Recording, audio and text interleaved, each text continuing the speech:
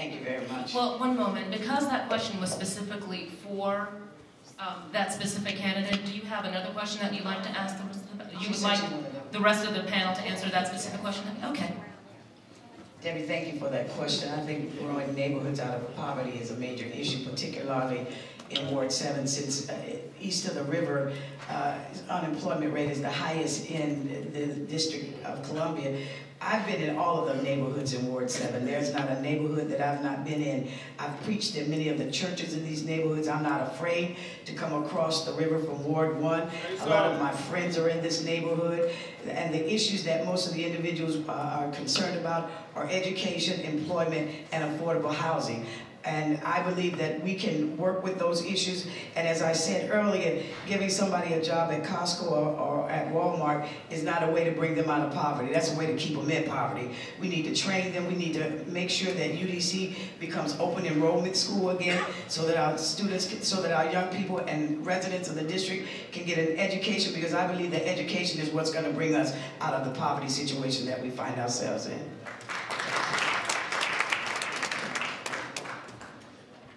I have uh, campaigned in all the neighborhoods, and especially uh, east east of the river. And I would first of all need to set the record straight. Uh, Ward 7 does not have the highest unemployment. Ward 8 has 35% unemployment. Ward 7 has 20% unemployment. And to say that 35,000 people are unemployed in this city and that they don't need uh, jobs is just unbelievable to me. I mean, Costco pays something like 12, 13, $13 an hour. Now, clearly, there's a problem with Walmart, and that's the reason why they're in negotiations for a community benefit agreement. But people are hurting.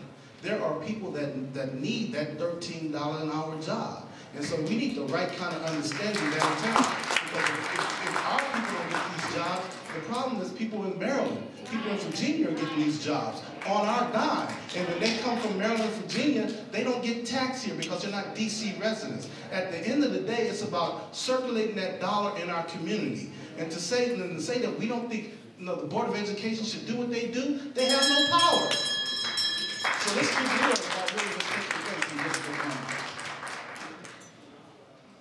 To be clear, Devin, your question was, which neighborhoods have we been campaigning in during this campaign, correctly? And what are we hearing there? In Ward 7, yes, okay, sure.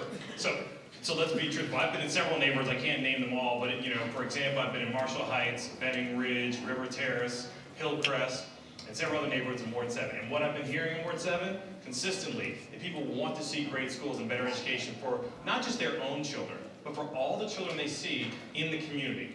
Because this has been a chronic problem. When I grew up in the city, I went to Woodrow Wilson High School in Ward 3 with residents of Ward 7 who had to travel across the city to find a decent high school to go to. And that's something that people in Ward 7 don't want to continue to have to do or subject their children to.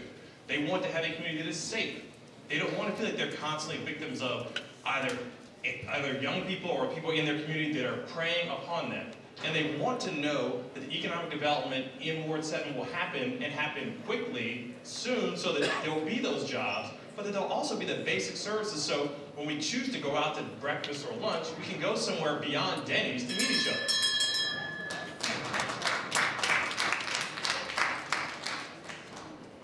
Okay, we'll have our next question from Sam Ford. Sam? Good morning. Uh, good morning, Tracy. I see Tracy out on the streets as we're traveling around the city doing the news. Good morning, It's Sam. good to see her.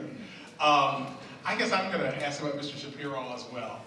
Uh, he mentioned uh, construction jobs, and, and he said that, you know, that I guess they're kind of temporary. Of course, my father was a construction worker, and they do. You know, the job runs out, then you got to go somewhere else, and you got to find a job there. But at least you have the skill. And I think one of the, the concerns is, uh, to what degree, first off, I'd like to ask everyone here, to what degree do you think that the city is in fact enforcing these agreements that they've made with these construction companies that come into Washington? I know a, a bunch of ministers had a march uh, last week about it. And the question is, to what degree do you think they're doing this?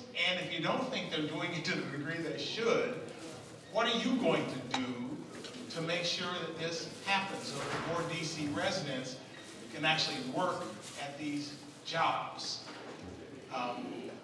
I don't know the word.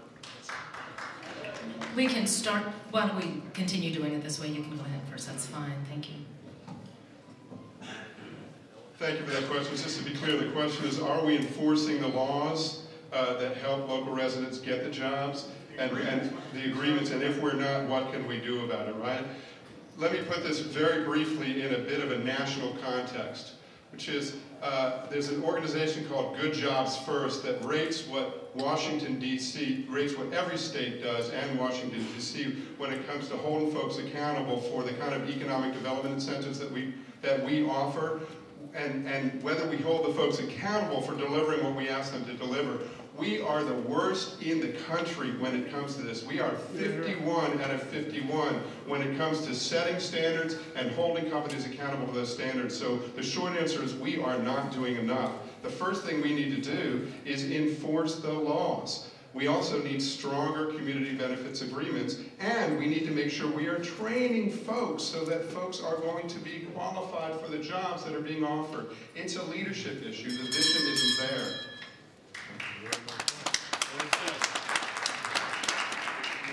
To what degree do you think the city is enforcing the jobs? I don't think the city is enforcing the jobs at all. We have what is called DC residential preference. But I believe that the preference is going to Virginia and Maryland residents. I live in Ward 1 and I look at all the construction jobs around and all the tags I see are from Virginia and Maryland. And generally people that uh, don't live in the district. And I understand that their jobs are temporary, construction jobs are temporary, but I think it's better to have a temporary job than not, not to have a job at all. But what do we do when those temporary jobs are over? I think we need to increase the preference. I think we need to make sure that the law is clearer about the number of DC residents. We need to raise the number of DC residents. It should be 70-30 instead of whatever the number it is now, that our individuals, and even training them. Uh, UDC has a community college now. The electricians make good money. Uh, plumbers make good money. We need to train our individuals, but I'm here to say that there are individuals in the district in Ward 7, particularly, who are already trained that are not getting the jobs. When I was on the council before, I ascertained that our law was not being followed. We were only spending $98 million in, with our local small business community. I called in every single agency head, told them that this is what the law says. 50% of your budget must be spent on local small disadvantaged businesses. The spending went up from 98 million to 567 million dollars. When you sent me back down to the council nine months ago, I immediately held that hearing again. We ascertained that this government shortchanged our business community $400 million in 2011, $180 million in 2010. The bottom line is we are not enforcing those laws, but it's up to your politicians to stand up with courage. I had to fight the administration just to hold a hearing. Remember, I'm the one that got the law passed for the living wage back in 2006. I had to come back now in order to get it implemented. We just passed a law now to call these developers in on the carpet. And to say that a construction job is not a good job is ludicrous. We got construction east of the river, south of West Waterfront, $700 million project downtown, another uh, project all over the city. Construction jobs are here. Some people don't have it. So I think it's pretty clear that we're not, we're doing a wholly ineffective job of enforcing the agreement.